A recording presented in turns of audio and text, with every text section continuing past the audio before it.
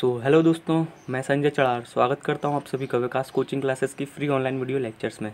तो दोस्तों आज के इस लेक्चर में हम पढ़ने वाले हैं क्लास ट्वेल्थ केमिस्ट्री का एक बहुत ही इंपॉर्टेंट टॉपिक जो है सॉल्यूशंस ओके तो चलिए स्टार्ट करते हैं। So what is a solution a solution is a homogeneous mixture solution क्या है? एक होमोजीनियस मिक्सचर है।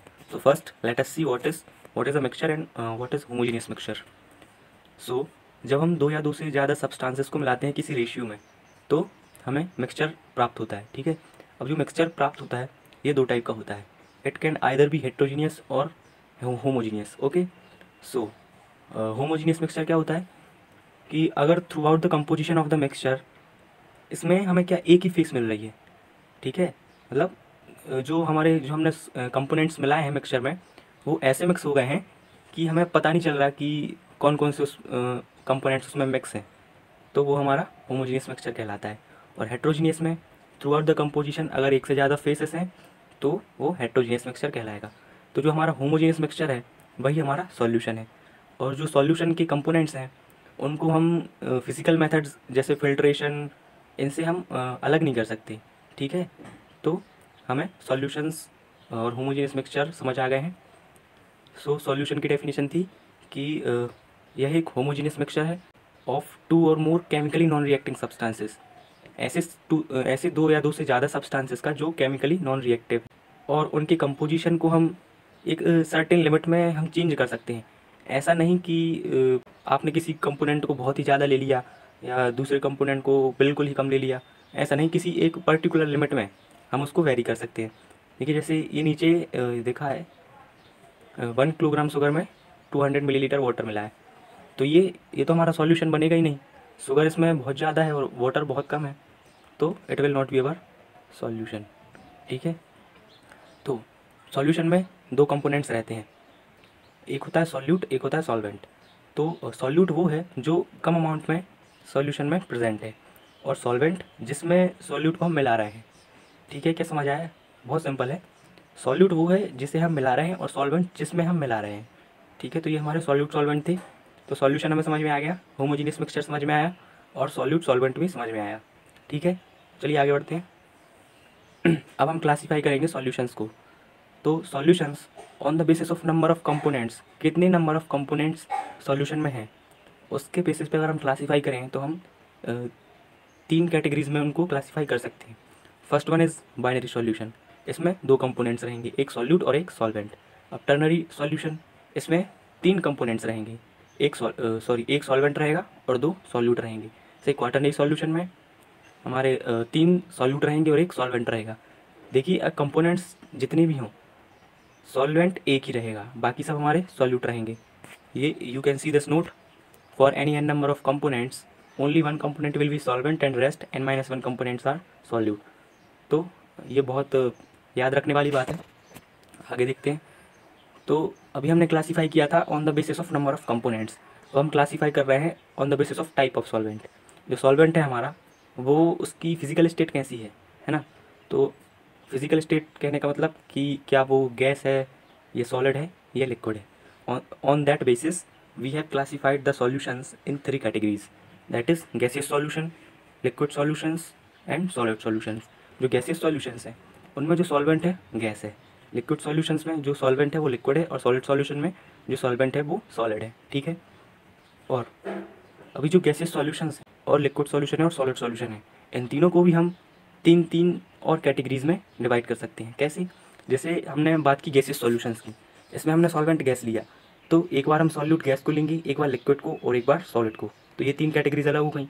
Similarly with liquid solutions solvent liquid लिया सॉल्यूट गैस ले लिया सॉल्वेंट तो लिक्विड ही है। फिर सॉल्यूट लिक्विड ले लिया और सॉल्वेंट लिक्विड ही और सॉल्यूट सॉलिड तो ये ऐसा हमने लिक्विड सॉल्यूशंस के साथ भी किया, और सेम हमने किया सॉलिड सॉल्यूशंस के साथ। तो हमने on the basis of type of solvent हमने देख लिए हैं क्लासिफिकेशन ऑफ़ सॉल्यूशंस ठीक है? So these are some examples you can see very easy examples कोई टफ नहीं है. यू कैन सी ओके हाँ तो अब देखते हैं type of solutions on the basis of concentration तो देखते हैं. अभी देख first one is dilute solution तो uh, जब सॉल्यूट हमारा सॉल्यूट कम है सॉल्वेंट से किसी सॉल्यूशन में. किसी पर्टिकुलर सॉल्यूशन की बात कर रहे हैं, किसी पर्टिकुलर सॉल्यूशन में, अगर हमारा सॉल्यूट कम है सॉल्वेंट से तो जो हमारा सॉल्यूशन बनेगा, वो डाइल्यूट सॉल्यूशन कहलाएगा, ठीक है? और अगर सॉल्यूशन में सॉल्यूट ज़्यादा है सॉल्वेंट से, ठीक है? सॉल्यूट ज़्यादा है सॉल्वेंट से तो वो हमारा सॉल्यूशन कहलाएगा कंसनट्रेटेड सॉल्यूशन ठीक है? अभी हम देखते हैं सेचूरेटेड अनसेचूरेटेड और सुपर सेचूरेटेड सॉल्यूशंस क्या हैं। तो सेचूरेटेड सॉल्यूशन एक ऐसा सॉल्यूशन जिसमें हमने सॉल्यूट मिलाया तो उसमें पता है क्या? उसमें केमिकल इक्विलिब्रियम स्टेब्लिश हो गया। और केमिकल इक्विलिब्रियम के कारण हम उसमें और ज़्यादा सॉल्यूट मिक्स नहीं कर सकते। ठीक है? क्या पॉइंट समझ में आया? कि जो सॉल्यूशन है, उसमें हमने सॉल्यूट मिलाया और हमने मतलब एक लिमिट में सॉल्यूट मिलाया तो उसमें केमिकल इक्विलिब्रियम स्टैब्लिश हो गया। तो अब हम उसमें और ज़्यादा सॉल्यूट नहीं मिला सकते। तो अगर हम उसमें ज़्यादा सॉल्यूट नहीं मिला पाएँगे तो वो हमारा कहलाएगा सेचूरेटेड सॉल्यूशन ठीक है? और क्या होता है कि ये एक एक पर्टिकुलर टेम्परेचर पर रहता है। ठीक है? और अगर हमने टेम्परेचर बढ़ाया, फिर सॉल्यूट मिला है तो सॉल्यूट उसमें मिल जाएगा और ऐसा सॉल्यूशन हमारा कहलाएगा सुपर सेचूरेटेड सॉल्यूशन ठीक है? तो क्या समझ में आया? सेचूरेटेड सॉल्यूशन क्या है? एक ऐसा सॉल्यूशन जिसमें, जिसके अंदर जो सॉल्यूट एंड सॉल्वेंट हैं, उनमें केमिकल इक्विलिब्रियम स्टेब्लिश हो गया है। ठीक है? और उसकी वजह से हम उसमें और सॉल्यूट मिक्स नहीं कर सकते, ठीक है? लेकिन अगर, देखो, हम उसमें अगर मिक्स नहीं कर पाएँगे सॉल्यूट तो वो हमारा कहलाएगा सेचूरेटेड सेचूरेटेड सॉल्यूशन लेकिन अगर हमने उसका टेम्परेचर बढ़ा दिया, अगर हमने उसका डेफिनेट टेम्परेचर बढ़ा दिया तो क्या होगा कि जो नंबर ऑफ़ वॉइड्स रहेंगे ना, वो सॉल्वेंट में बढ़ जाएँगे. मतलब मतलब क्या होगा टेम्परेचर हमने बढ़ाया तो वो सॉल्यूट है ना, वो सॉल्वेंट में घुलने लगेगा. तो सेचूरेटेड सॉल्यूशन का अगर हमने टेम्परेचर बढ़ा के उसमें सॉल्यूट मिला दिया तो सॉल्यूट उसमें मिल जाएगा। तो ऐसा सॉल्यूशन हमारा कहलाएगा सुपर सेचूरेटेड सॉल्यूशन ठीक है? हमें सेचूरेटेड समझ में आ गया सुपर सेचूरेटेड भी समझ में आ गया। अभी हम देखते हैं अनसेचूरेटेड अनसेचूरेटेड क्या है? ऐसा सॉल्यूशन जिसमें हम सॉल्यूट मिला सकते हैं विदाउट एनी टेम्परेचर राइज मतलब उसके जो कंपोनेंट्स हैं सॉल्यूट या सॉल्वेंट उनके बीच में केमिकल इक्विलिब्रियम नहीं है तो उसमें हम सॉल्यूट आराम से मिक्स कर सकते हैं। तो हमारा कहलाएगा अनसेचुरेटेड सॉल्यूशन तो आई होप आपको ये समझ में आ गया होगा। चलिए आप आगे देखते हैं। हम्म, कुछ एग्जांपल्स हैं। स्मोक है। तो स्मोक में कौन कौन से कंपोनेंट हैं हमारे? सॉलिड सॉलिड क्या है इसमें? कार्बन पार्टिकल्स एंड गैस तो गैस हमारा सॉल्वेंट है और सॉल्यूट कार्बन पार्टिकल्स जो कि इसमें यहाँ पे सॉलिड लिखा है। ठीक है? तो smoke is a solution of carbon particles in gases foam rubber क्या है? सॉलिड में गैस का सॉल्यूशन सॉलिड सॉल्वेंट है और गैस सॉल्यूट है। ब्रॉन्ज क्या है? ब्रॉन्ज सॉलिड सॉल्यूशन है। इसे हम एलॉय भी बोलते हैं। ब्रॉन्ज एलॉय है। एक सॉलिड सॉल्यूशन है। क्यों? इसमें सॉलिड में हम सॉलिड मिक्स कर रहे हैं। तो चलिए अब आगे देखते हैं। हाँ तो अब हम बात करें लिक्विड लिक्विड सॉल्यूशंस की। ये बहुत इंपॉर्टेंट है हमारे लिए लिक्विड लिक्विड सॉल्यूशंस ठीक है? तो ये on the basis of miscibility miscibility क्या होती है? कि कितने अच्छे दो कंपोनेंट्स एक दूसरे में मिल रहे हैं, ठीक है? मतलब एक फेस बना रहे हैं। तो वो हमारे कहलाते हैं लिक्विड लिक्विड सॉल्यूशंस तो on the basis of the miscibility they are also classified into three categories first one is completely miscible second one is partially miscible and third one is completely immiscible तो completely miscible मतलब जो दो solute and solvent हैं, वो completely mix हो गए हैं एक दूसरे में। ठीक है? तो ये हमारे कम्प्लीटली मिसिबल हैं। फॉर एग्ज़ाम्पल अगर हम लें तो हम वाटर में लाते हैं मिल्क में तो कम्प्लीटली मिसिबल है एक दूसरे में। ठीक है?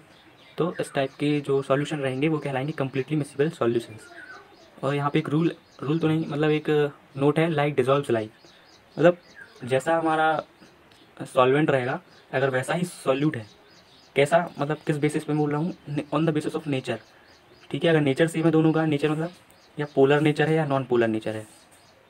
तो अगर दोनों जो सॉलिड एंड सॉल्वेंट है, दोनों दोनों पोलर हैं मतलब पोलर नेचर है दोनों का तो वो एक दूसरे को कम्प्लीटली मिक्स कर लेंगे एक दूसरे में।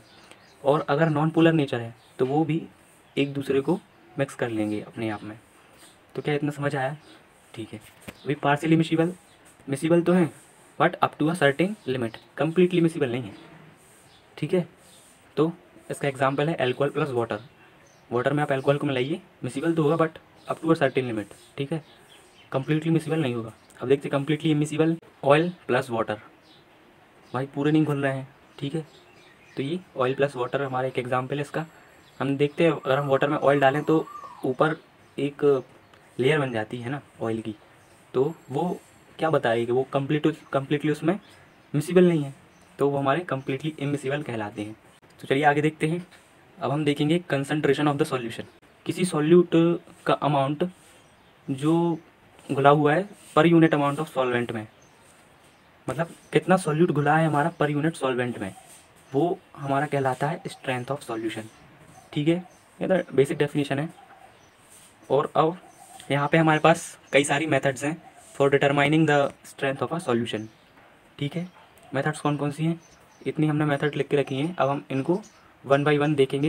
इनकी डेफिनेशन और फॉर्मूले यहाँ पे लिख के रखे आप चाहें तो नोट कर सकते हैं। ठीक है? चलो देखते हैं। First one is mole fraction हाँ सो मूल फ्रैक्शन क्या होता है? मूल फ्रैक्शन को हम एक्स से डिनोट करते हैं। It is a ratio of moles of solute to the total moles in solution ठीक है? So moles of solute divide by total moles of solution अगर किसी सॉल्यूशन में तीन सब्सटेंसेस हैं ए बी एंड सी तो कैसे निकालेंगे हम? मूल फ्रैक्शन सबका अलग अलग निकाल सकते हैं। जैसे हमने ए कंपो ए सब्सटेंस का निकाला तो x is equal to moles of substance A divide by total moles in solution जैसे हमने बी कंपोनेंट का निकाला तो x B is equal to n B divide by n A plus n B plus n C n A क्या denote कर रहा है? Number of moles of substance A n B number of moles of substance B and n C number of moles of substance C ठीक है? ऐसे x भी निकाल सकते हैं एक्स बी और एक्स सी बी और तीनों का हम सम करें तो इक्वल टू वन रहेगा। सिंपल मैथमेटिक्स है, आप देख सकते हैं करके। ठीक है? मोल्स मोल्स कैसे निकालते हैं? What is the formula for moles moles is equal to mass divide by molecular mass ठीक है? मोल फ्रैक्शन की कोई यूनिट नहीं होती है, क्योंकि आप देख सकते हैं it is a pure ratio of same quantities ऊपर भी मोल्स हैं और नीचे भी मोल्स हैं। तो it was our mole fraction ठीक है? समझ आया? बहुत सिंपल टॉपिक था मोल फ्रैक्शन आगे देखते हैं क्या है हमारे पास। अब अब हमारे पास जो नेक्स्ट है, वो है मास बाई परसेंट ठीक है? तो ये क्या है? Mass of solute present in hundred gram of solution. ठीक है? ये तो डेफिनेशन के फॉर्म में बताया मैंने। और इसका पर्स इसका फॉर्मूला क्या है? Mass of solute divide by mass of solution multiply by hundred. देखो, ये बेसिकली फार्मूले ही हैं, बहुत सिंपल हैं, और जो डेफिनेशन है उसके हिसाब से ही फार्मूले हैं। तो आपको अगर डेफिनेशन याद है तो फॉर्मूले आप खुद लिख सकते हैं अपने, ठीक है? एग्ज़ाम्पल दे के रखा है हमने, twenty percent mass by percent N A C L मतलब ट्वेंटी ग्राम एल है सौ ग्राम सॉल्यूशन में। ठीक है अगर ट्वेंटी ग्राम एल है तो एट्टी ग्राम एच होगा। ठीक है तो आप देख सकते हैं mass by mass by percent आगे बढ़ते हैं। हम्म, ये बहुत इंपॉर्टेंट है नॉर्मेलिटी तो नॉर्मेलिटी क्या होती है? Number of gram equivalents of solute present in a litre of solution ठीक है ये तो मैंने बता दिया। अब देखते हैं और क्या है। Gram equivalent mass of solute divide by volume of solution अभी जो हमारे ग्राम इक्विवेलेंट रहते हैं सॉरी या number equivalent number of gram equivalent वो हमारे रहते हैं लाइक नंबर ऑफ़ मोल्स ठीक है? जैसे नंबर ऑफ़ मोल्स है, वैसे ही number of gram equivalents but number of moles का फॉर्मूला रहता है mass divide by molecular mass similarly जो ग्राम इक्विवेलेंट हैं हमारे, उनका फॉर्मूला होता है mass divide by gram equivalent mass ठीक है? तो वो क्या होता है? इक्विवेलेंट मास वो होता है molecular mass divide by valency ठीक है? Molecular mass divide by valency तो देखिए आप जो हमने ये लिखा था ना, इसको हमने और रिजॉल्व कर दिया है। तो हमारे पास ये नॉर्मेलिटी का फॉर्मूला आ गया है।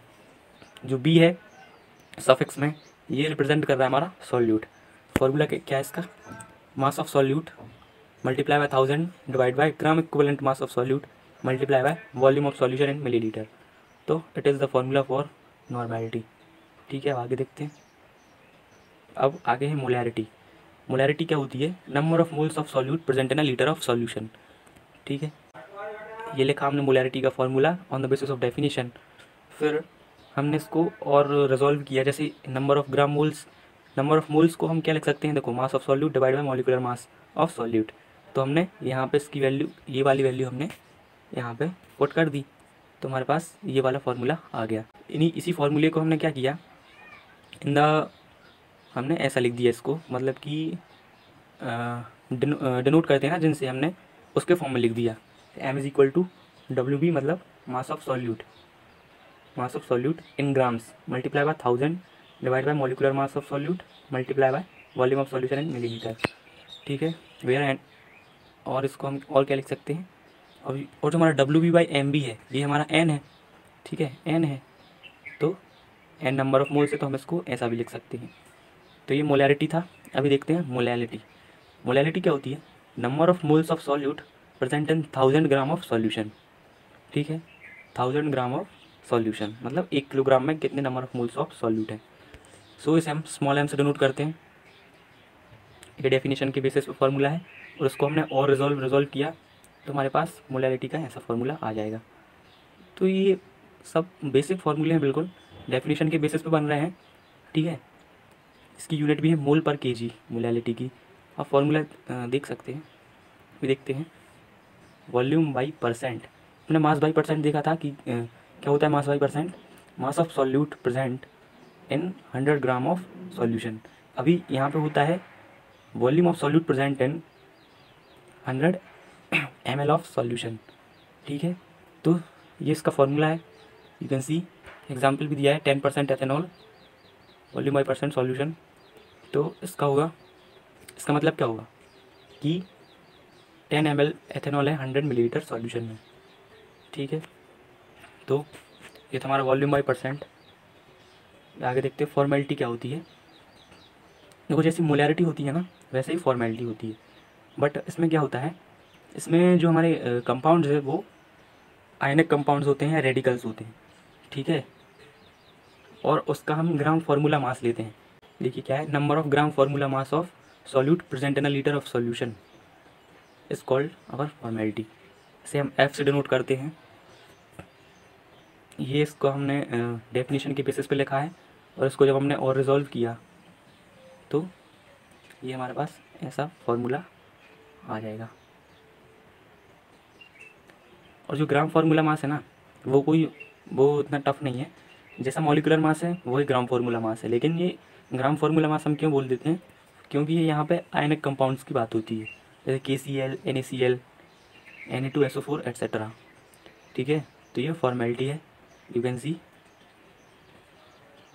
अब देखते हैं पार्ट्स पर मिलियन अगर जो हमारा सॉल्यूट है, जो सॉल्यूट है, बहुत ही कम अमाउंट में प्रेजेंट है सॉल्यूशन में। मतलब बहुत ट्रेसेस में प्रेजेंट है। तो हम उसकी जो सॉल्यूट की कंसनट्रेशन है, उसे हम इससे रिप्रेजेंट करेंगे पार्ट्स पर मिलियन से। तो पार्ट्स पर मिलियन क्या होता है? कि part of solute in ten to the power six parts of solution मतलब पार्ट ऑफ़ सॉल्यूट इन एक लाख पार्ट एक लाख पार्ट ऑफ़ सॉल्यूशन ठीक है? जैसे हम दो वेज में रिप्रेजेंट कर सकते हैं। एक तो हम वेट के बेसिस पे लिख सकते हैं और एक हम ले सकते हैं वॉल्यूम के बेसिस पे। मतलब कैसा कि अगर हम वेट के बेसिस पे लें तो मतलब कितना वेट है सॉल्यूट का? Ten to the power six parts weight of solution इसका फॉर्मूला दे के रखा है, देखो। ये वेट के फॉर्म में था हमारा और ये वॉल्यूम के फॉर्म में। ठीक है? तो ये हमारा पार्ट्स पर मिलियन था you can see we mass by volume percent ठीक है? हमने मास बाई मास परसेंट देखा। और वॉल्यूम बाई वॉल्यूम परसेंट पहले ही दिखा। अब हम देखेंगे मास बाई वॉल्यूम परसेंट तो कितने ग्राम ऑफ़ सॉल्यूट प्रेजेंट हैं हंड्रेड एम एल सॉल्यूशन में? तो ये हमारा कहलाता है मास बाई वॉल्यूम परसेंट बहुत सिंपल है। तो आप ये देख सकते हैं। आगे देखते हैं। तो अब आया क्वेश्चन एक क्वेश्चन है, हम इसको देखते हैं क्या है। Calculate the mass percentage of benzene and carbon tetrachloride if 22 gram of benzene is dissolve in 122 gram of carbon tetrachloride. ठीक है तो हमारा सॉल्यूट क्या हुआ यहाँ पे? बेंजीन और सॉल्वेंट। हमारा रहेगा क्या? कार्बन टेट्रा क्लोराइड ठीक है तो मास परसेंटेज का हमने फॉर्मूला भी देखा था। Mass of solute divide by mass of solution multiply by hundred तो सॉल्यूट हमारा क्या है? बेंजीन। उसका मास कितना दिया हमें? बाईस ग्राम। तो हमने लिख दिया। नीचे लिखा है मास ऑफ़ सॉल्यूशन हमें सॉल्यूशन को तो दिया नहीं मास।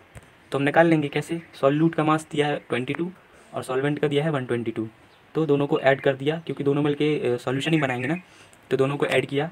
तो मास ऑफ़ सॉल्यूशन आ गया one forty four gram multiply किया हंड्रेड से। तो ये हमारा आ गया मास परसेंट ऑफ़ बेंजीन इतना। अभी हमें निकालना है कार्बन टेट्राक्लोराइड का। तो हंड्रेड में से हम बेंजीन का पार्ट माइनस कर देंगे। तो हमारा कार्बन टेट्राक्लोराइड का भी मास परसेंटेज आ जाएगा। तो बहुत सिंपल क्वेश्चन था। आगे देखते हैं। ठीक है तो दोस्तों हमारा आज का लेक्चर इतना ही था। अगर आपको ये लेक्चर पसंद आया हो तो वीडियो को लाइक कीजिए, शेयर कीजिए अपने दोस्तों के साथ और सब्सक्राइब कीजिए हमारे यूट्यूब चैनल को। Thank you very much